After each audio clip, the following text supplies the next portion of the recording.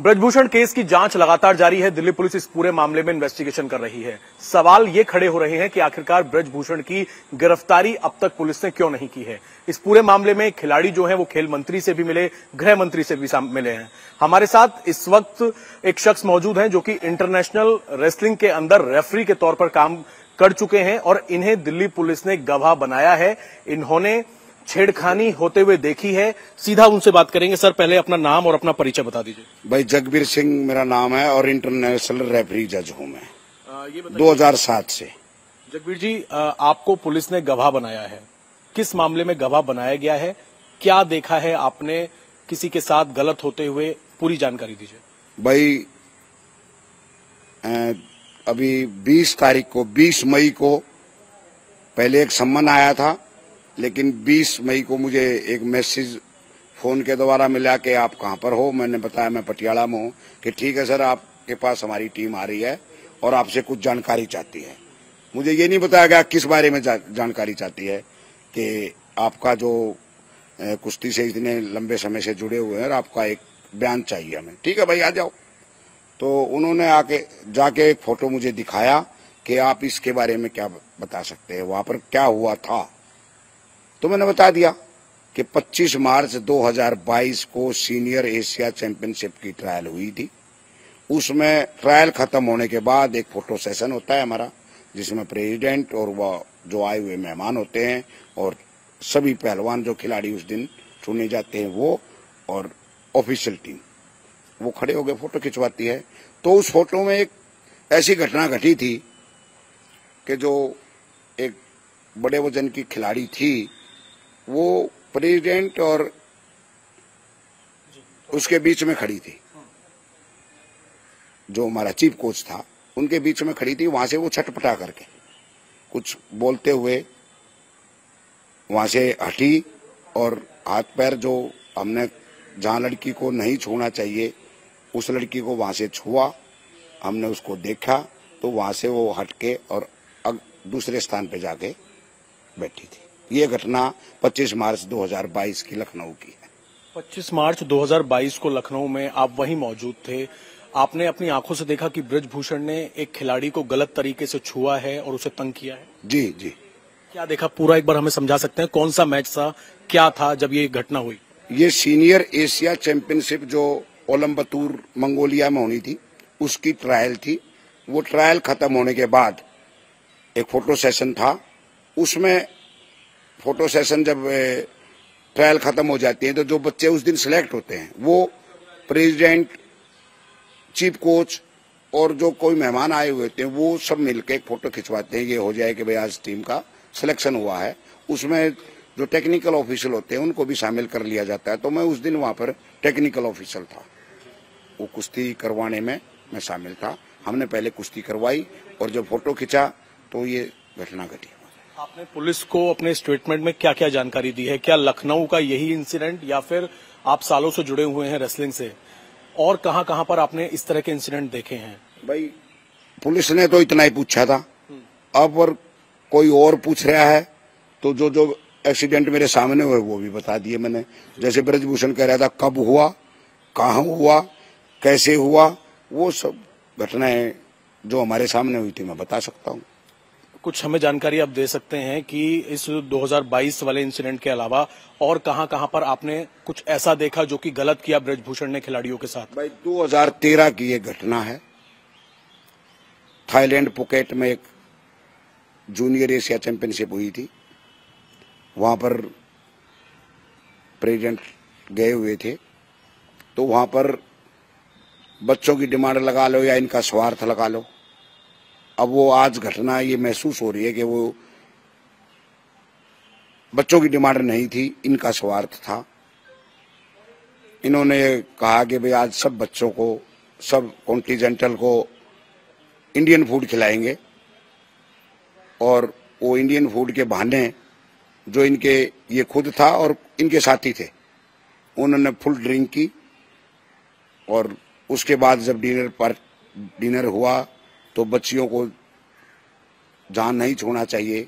उस तरह की हरकतें उसमें हुई ये फुल नशे में था। ये 2013 पुकेट थाईलैंड की घटना है। ये भी इंसिडेंट आपने खुद अपनी आँखों से देखा? खुद अपनी आँखों से देखा। 2013 में मैं एज ए रेफरी वहाँ पर गया हुआ था। इस बात की भी जानकारी आपने पुलिस को दी है? पुलिस से साझा पुलिस ने पूछा नहीं मुझे। वो पुलिस ने सिर्फ़ इतना ही बताया कि आपने जो आप कई इस बारे में हम पूछना चाहते हैं तो मैंने उतना ही बताया।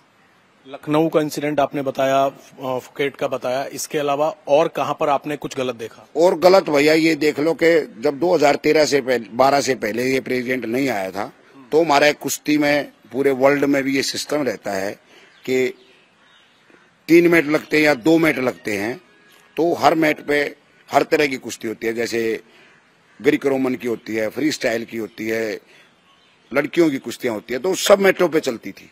लेकिन जब से ये ब्रजभूषण आया है तो इन्होंने एक स्पेशल मैट लड़कियों के कर दिया कि जब जहाँ मेरी स्टेज लगेगी, उसके सामने खाली लड़कियों की कुश्तियाँ होंगी।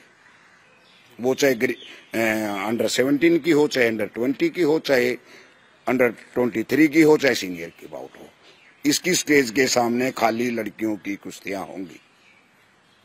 ये जो आपने बताया कि मैट कहाँ पर लगेगा इसने ये प्लान किया इसके अलावा छेड़खानी के दो मामले आपने अपनी आँखों से देखे हैं?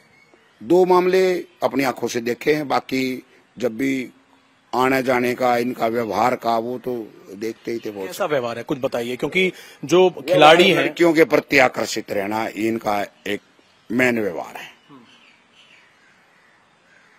ये जब भी चलेंगे तो लड़कियाँ इनके दल बल में ज़रूर होनी चाहिए। एक एक्सीडेंट हमने अ, 2022 में ही सोभिया बुल्गारिया में देखा।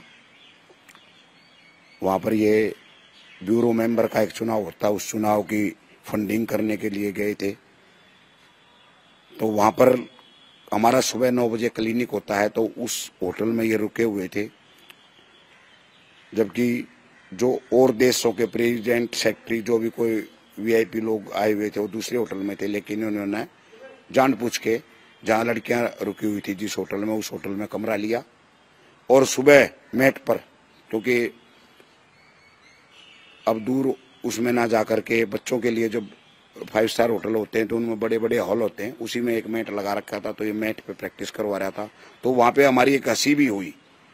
वहाँ दूसरे जो और वर्ल्ड से जो रेफरीज आए हुए थे, उन्होंने कहा, a Indian president fight girls तो ऐसे हमारी हँसी भी उड़ी वहाँ पे जो अदर कंट्री के रेफरीज थे हमारे साथ, उन्होंने देखा, hey Indian president girls fight जो खिलाड़ी लगातार ये कह रहे हैं कि इस मामले में गिरफ्तारी होनी चाहिए पुलिस अब तक गिरफ़्तार नहीं कर पाई है। आप तो सबसे बड़े चश्मदीद हैं। आपने तो खुद देखा है कि व्यवहार तो अलग है, आपने तो दो केस में छेड़खानी देखी है। आपको क्या लगता है, क्यों गिरफ्तारी नहीं हो रही? वो तो भाई पुलिस जाने मैं सरकार के सरकार के खिलाफ कैसे बोलूँ? सरकार के खिलाफ मैंने तो एक तंग होके वो हरिद्वार का एक वाक्य था, उस दिन सरकार के खिलाफ बोल रहा था तो सरकार मेरे ऊपर ही एक्शन लेने को तैयार हो रही है, ब्रजभूषण को गिरफ़्तार करने के बजाय। अभी भी आप काम कर रहे हैं रेसलिंग हाँ रेसलिंग में अभी भी मैं काम कर रहा हूँ। मैं भी अभी भी यू डब्ल्यू डब्ल्यू का वन कैटेगरी का रेफरी हूँ। मैं कल ही जो अभी अंडर फिफ्टीन और अंडर ट्वेंटी की ट्रायल हुई थी उसमें मैं जूरी में मैं था। 2023 2022 वाला जो मामला था एक नाबालिग लड़की ने भी आरोप लगाया था। फिर उसने अपनी ये खबरें हैं कि उन्होंने अपनी शिकायत वापस ली या जो बाकी की छह विक्टिम्स हैं उन्होंने भी एलिगेशन लगाया है कि दिल्ली वाले घर पे भी और कई जगह उनके साथ छेड़खानी हुई।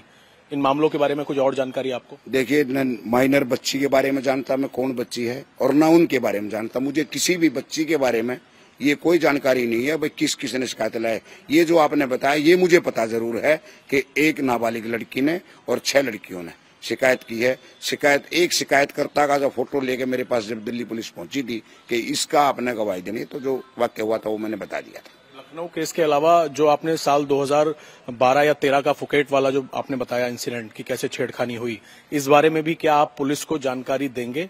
भाई, पुलिस पूछेगी तो पुलिस को भी देंगे। जब आपको दे रहे हैं तो पुलिस को क्यों नहीं देंगे? जब मैं पूरे देश को ये जानकारी दे रहा हूँ, जिन लोगों ने भी आज मेरे से पूछा, सवाल पूछा है, जो भी सबसे पहले जो इंडियन एक्सप्रेस वाले जो पत्रकार बंधु आए थे। आखिरी सवाल मेरा ये आपसे कि पुलिस कह रही है कि उन्हें ऐसे सबूत नहीं मिल रहे हैं। तो क्या 2022 वाला मामला हो या पुराना हो वहाँ पर सीसीटीवी कैमरा फोटोग्राफ या क्या फ़ोन पर भी बात करके परेशान करता था खिलाड़ियों को? क्या ऐसी कुछ चैट्स भी हो सकती हैं? देखिए मेरे सामने कुछ नहीं आया। न किसी बच्ची ने बताया न कभी मैंने किसी का फ़ोन चेक किया न मैंने कभी चैट देखा न मेरे पास आया। देखो जो मैंने तो अपनी आँखों से देखा है वो आपको बताया है। बहुत शुक्रिया हमसे बातचीत करने के लिए। जगवीर जी हैं, जो कि इंटरनेशनल रेसलिंग के अंदर रेफरी के तौर पर काम करते हैं और ये बता रही हैं कि किस तरीके से दिल्ली पुलिस इनके पास पहुँची।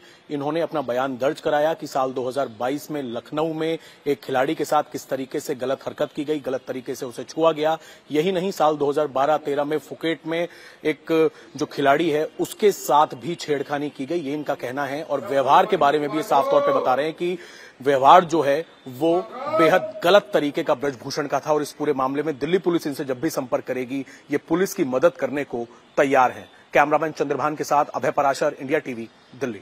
India TV, हर वक्त, हर जगह। डाउनलोड करने के लिए सर्च करें India TV news, Google Play Store या एप स्टोर पर।